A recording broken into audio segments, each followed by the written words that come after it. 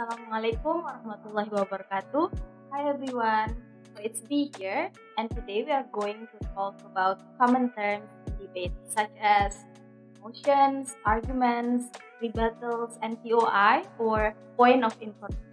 So debating is basically all about winning argument in a specifically determined issue, which in debating it's called as motion.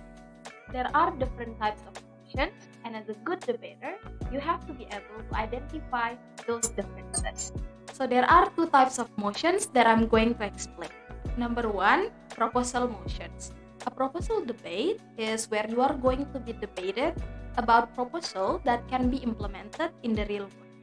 Jadi, pada mosi proposal ini kita akan membicarakan mengenai suatu proposal yang ingin diimplementasikan. So that's why the unique characteristic of this type of motion is that this motion requires an urgency analysis upon a problem and the solutions for that problem. Examples are this house would ban smoking, this house believes that smoking should not be allowed, or this house would ban social media. Second, judgment motions. It is basically a form of evaluative debate where you are going to be judging whether a particular issue is bad or good.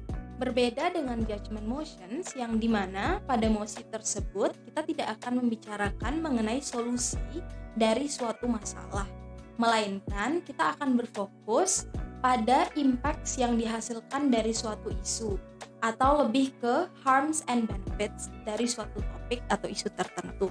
Examples are this house believes that social media brings more harm than good atau this house regret the narrative of soldiers as heroes. Selanjutnya, kita akan membicarakan mengenai types of arguments. Yang pertama ada moral arguments, yang di mana moral arguments could also be called as normative arguments, which is claiming that something is either consistent or inconsistent with certain values or norms. Second, cause-effect arguments. It is basically a speculative argument where its whole idea is to claim that certain actions will have certain implications.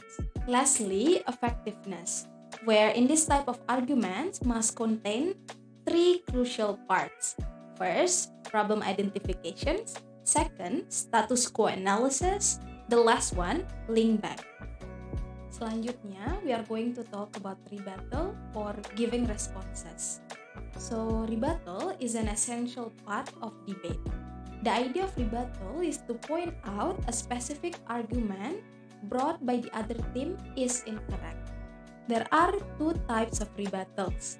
First, substantive and formal rebuttals. Second, offensive and defensive rebuttals. Lastly, we are going to talk about POI or point of informations. So, POI it is when your opponent substantive speaker has passed their first minute and has not entered their last minute. Therefore, you may interrupt their speech. Aims of POI First, to ask clarity in certain things.